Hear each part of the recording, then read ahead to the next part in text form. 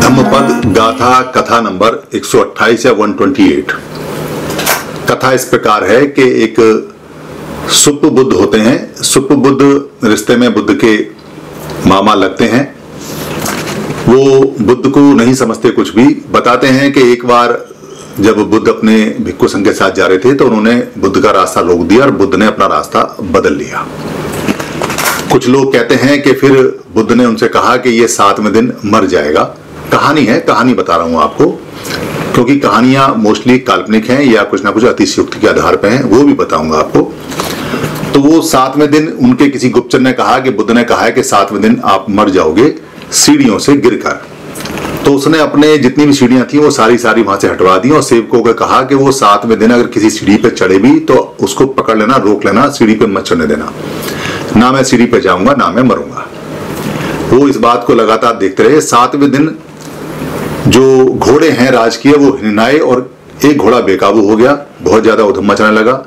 सुबुद्ध घोड़े को अच्छी तरह से संभाल लेते थे, इसलिए वो घोड़े की तरफ़ भागे।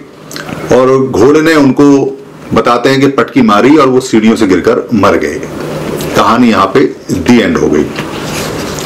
पहली बात तो बुद्ध ने कभी किसी का जीवन में कभी कोई बुरा चाहा ही नहीं। बुद्ध तो करुणा के सागर रहे अगर कोई बुद्ध और कोई अरहत अगर किसी का बुरा सोचता भी है, मन में भी है तो ना तो वो बुद्ध रहेगा, ना वो अरहत रहेगा।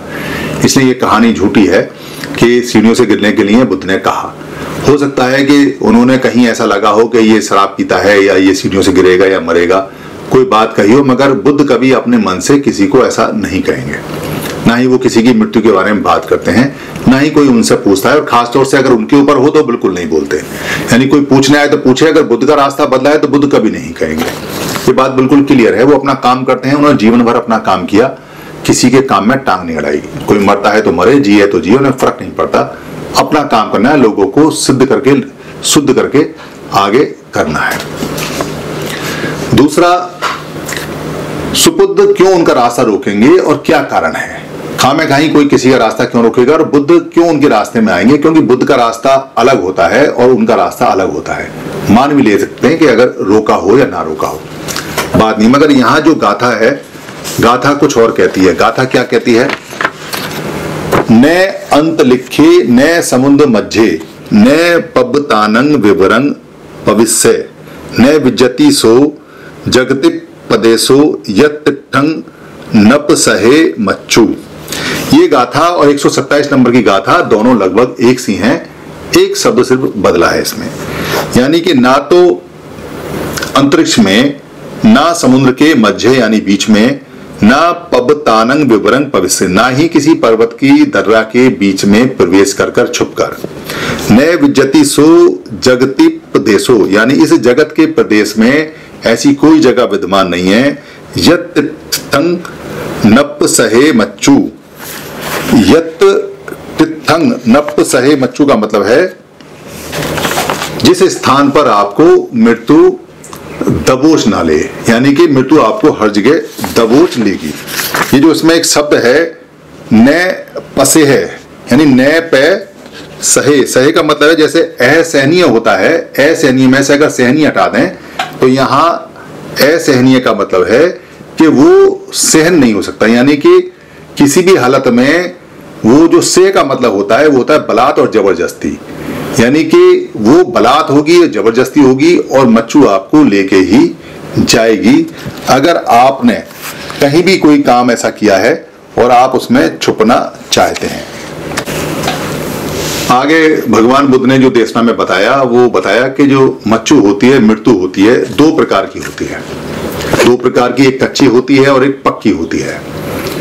कच्ची जो मृत्यु होती है, वो आती है जब आपका, या तो पहले से ही आपका जो मन आया है शरीर में, यानी जहाँ से आपने जन्म लिया है, वो पहले से ही बीमार है, या पहले से ही खराब है, या पाप से भरा हुआ है। और या आपने इस जीवन में बहुत ज़्यादा पाप किए हैं, आप पुण्य नहीं कमा रहे हैं तब आपकी अकालिक मृत्यु या अनैसर्गिक मृत्यु या अ यानी जो अप्राकृतिक मृत्यु है, वो मृत्यु आपकी आएगी।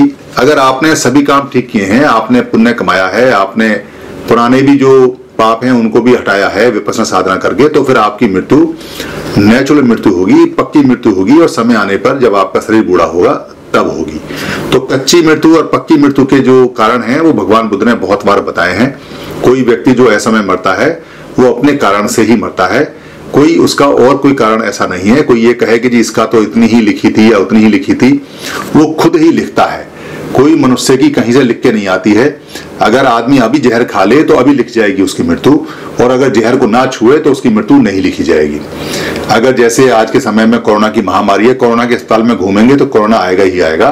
फिर आपकी मृत्यु आने के चांस बढ़ जाएँगे और कोरोना से दूर रहेंगे, सावधानी बरतेंगे तो मृत्यु के होने के चांस दूर रहेंगे। इसलिए कच्ची मृत्यु और पक्की मृत्यु बहुत बार बताई गई है। धन्यवाद। आप सभी से ये निवेदन है कि अगर आपको ये वीडियो अच्छी लगती है या बाकी वीडियो अच्छी लगी हैं और आपको लगता है कि धर्म की वीडियो किसी को और मिलनी चाहिए या किसी को गिफ्ट में भेजनी चाहिए या किसी भाषा में कन्वर्ट करके आगे बढ़ानी चाहिए, या प्रिंट में, किताब में छापनी चाहिए, या इसकी जो ऑडियो है उसे निकाल के भेजना चाहिए, या इसका किसी पार्ट को इस्तेमाल करना चाहिए तो आपको लिबर्टी है, आपको छूट है। ये सभी कॉपीराइट फ्री हैं। आप अपने फेसबुक पे, अपने पेज पे, अपने ट्विटर पे, या अपने हैंडल पे, या लिंक को कहीं भी शेयर कर सकते हैं, कहीं भी चला सकते हैं। आप यूट्यूब पे भी चला सकते हैं, अपने नाम से चला सकते हैं।